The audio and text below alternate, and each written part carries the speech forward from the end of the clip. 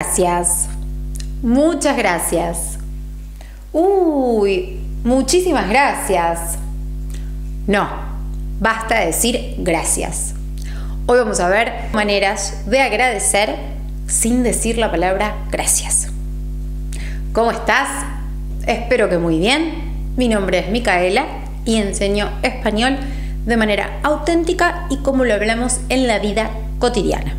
Te voy a dejar abajo en la descripción un link a mis clases y un cupón de descuento para que las pruebes. En este canal subo videos todas las semanas, así que considera suscribirte, así no te perdes la notificación cada vez que subo un video nuevo.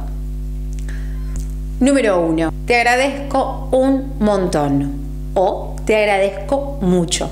Es una expresión bastante personal e íntima que la podemos usar en un contexto familiar o con alguien conocido. Número 2.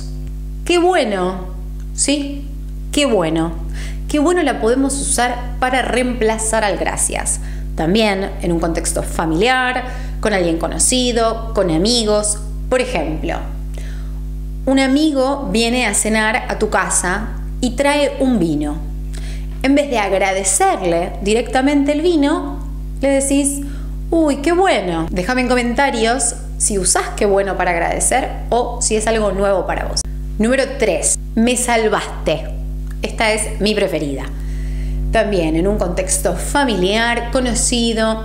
Por ejemplo, un amigo te trae el abrigo o la campera que te olvidaste en su casa. Y vos le respondes, me salvaste, porque justo ese día hacía frío y no tenías campera o abrigo. Número 4. Estoy muy agradecido.